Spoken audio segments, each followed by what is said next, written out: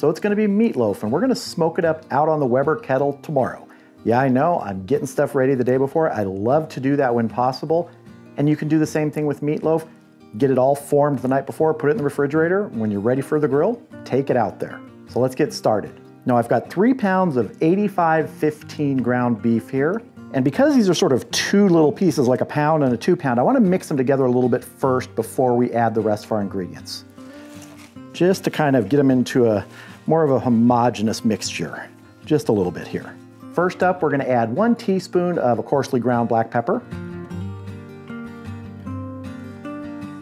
one teaspoon of granulated garlic,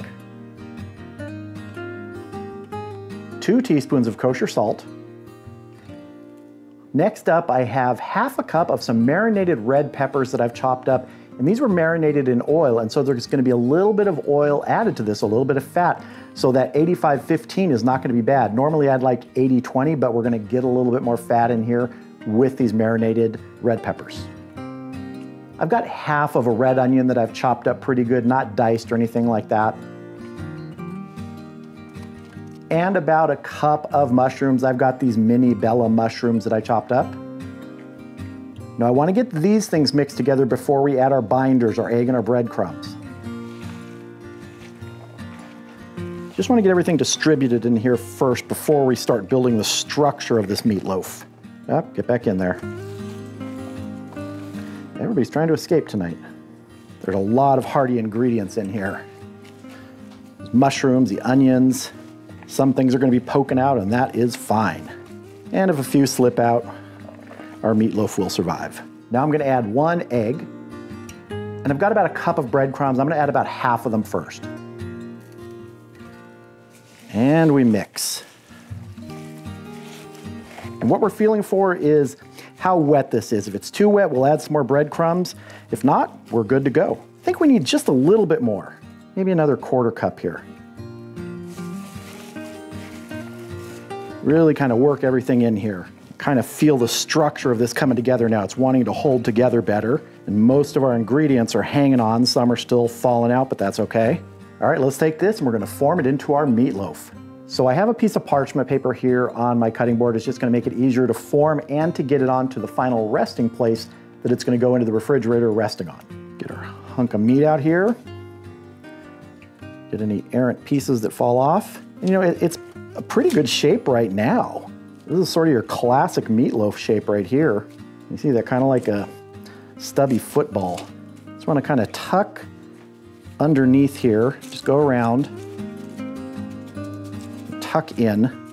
That'll make it a little easier when you're sliding it off this onto the cooking grate because we're going to use a separate cooking grate that it will rest on when we put it on the barbecue. But are we done here? No, we are not. We're gonna add some bacon. Now what I wanna do is, I'm just gonna lay some bacon at an angle here. I'm not worried about creating some special pattern. I just wanna get a few slices on here, maybe more than a few, just so we have some interesting look. I'm not doing a classic weave where we're going over and under, over and under. This will work just fine.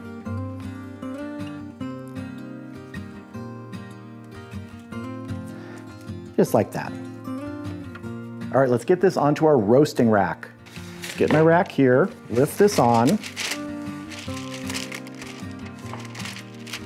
and then we're just gonna slide this off. Try and center it here. All right, this is gonna go in the refrigerator overnight, and I'll see you tomorrow out at the grill.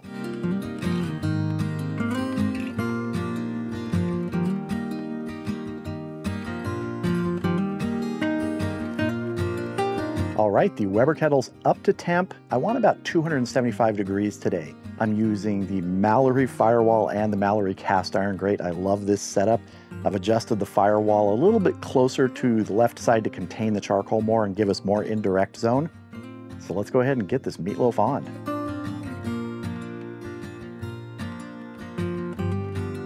Get my temperature probe in here. See if we can get dead center in that meatloaf and I'm gonna put a piece of red oak on for a little smoke today.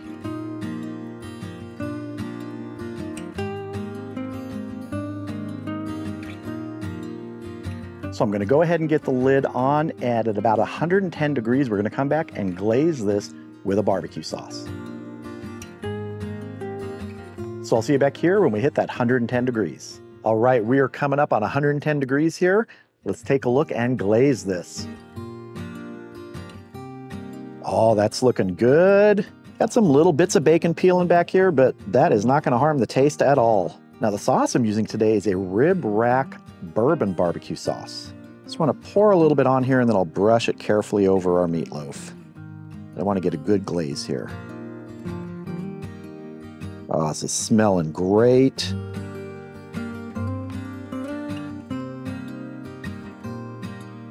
All right, we're gonna get the lid back on and this is gonna continue smoking until it gets to 155 internal. That's where I like my meatloaf. Ground meat, the recommendation is 165, but you gotta make that choice how much you wanna get towards that 165. There'll be some carryover when I take this off. So I'll see you back here when we hit 155 internal.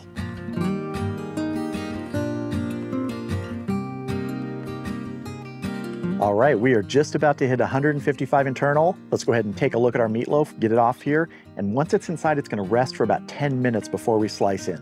But let's take a look.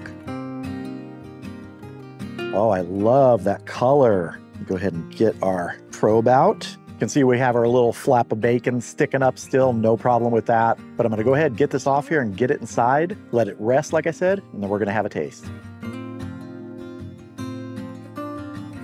So here's our gorgeous little football of beef and everything else that goes into it, mushrooms, onions.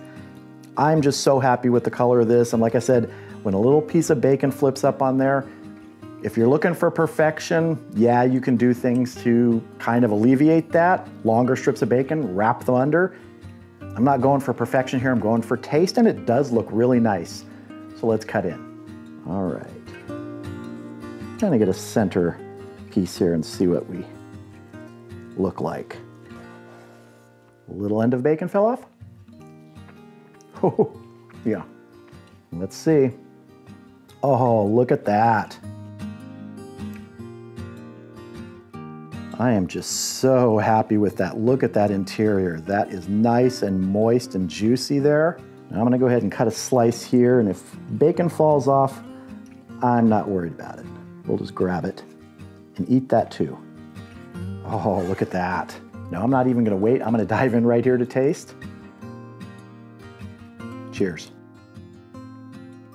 Mmm. The mushrooms, the onions, everything that went into this is coming through in the flavor. That end glaze, I'm just so happy with this right now. Now you can obviously do this in the oven, but for me, if you can do it out on the grill, get some of that smoke flavor, there's just something extra special about that. It brings just an extra level of deliciousness to this, and I'm enjoying every bite of this.